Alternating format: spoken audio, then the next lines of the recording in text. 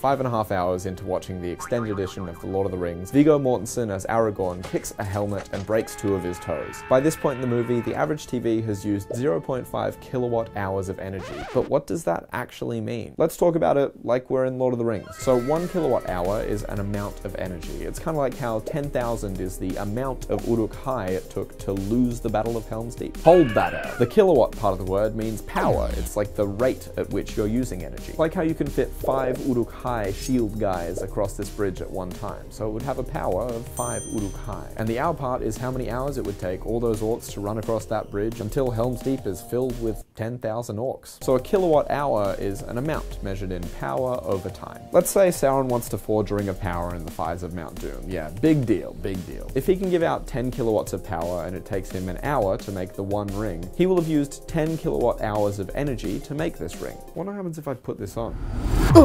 So when Sauron made three rings for the Elven Kings under the sky, seven for the Dwarf Lords in their halls of stone, nine for mortal men doomed to die, one for the Dark Lord on his dark throne, one ring to rule them all, One ring to find them, one ring to bring them all. In the darkness, bind them. That's 20 rings. That's 20 rings. If Sauron spent 20 hours at 10 kilowatts of power making 20 rings, that'd be 200 kilowatt hours of energy he used. I'm not doing that again.